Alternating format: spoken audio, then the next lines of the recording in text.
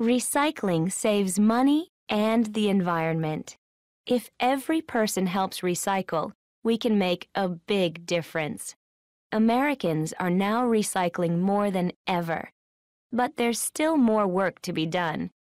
In one year, people in the U.S. still throw away enough cans to fill the Empire State Building in New York 20 times. Think of how much office and writing paper people use every day. How much paper is it? In the U.S. alone, people use enough paper to build a wall three and a half meters high from Los Angeles to New York.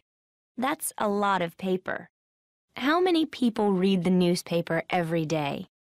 In the United States alone, in one year, people read enough newspapers to fill a soccer stadium 45 times. And many of those newspapers are not recycled. That's bad news. Have you ever been to Chicago?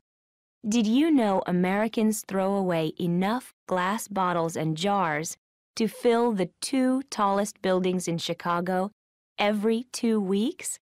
Think of it. Chicago's tallest buildings filled up like trash cans every two weeks. The next time you buy juice or anything in a plastic bottle, just think about this.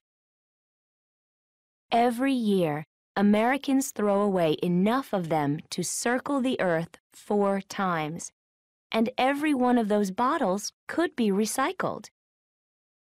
It's amazing when you think about it, isn't it? Little things help.